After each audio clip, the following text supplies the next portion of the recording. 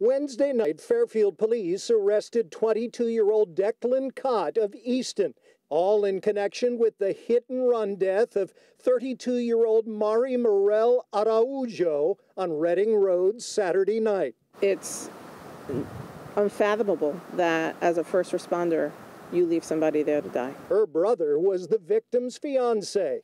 Kot, a volunteer firefighter, is also an elected constable in Easton. We started to scour for surveillance videos, and uh, we were able to obtain uh, a vehicle in the same time frame that we believe that the accident happened that represented some of what the witness gave us. Police focused on finding a white Dodge pickup with specific features. That led them to a traffic stop of Kot Tuesday afternoon. There was more distinct things that we were able to obtain from surveillance footage, such as uh, placards on the vehicle that gave us some specificity to the type of vehicle and the type of uh, rims. Police said Kot had already fixed the passenger side mirror that hit Mari Morel Araujo in the head as she walked her dog in front of her future sister in law's home.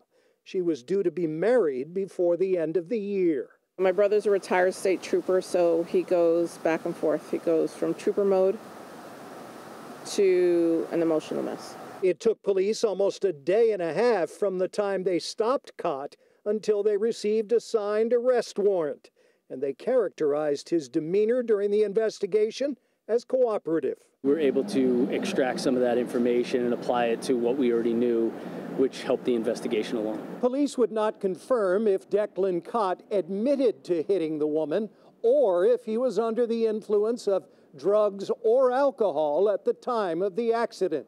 Tonight, a vigil at the accident scene beginning at 8 o'clock. Here in Fairfield, Tony Terzi, Fox 61 News.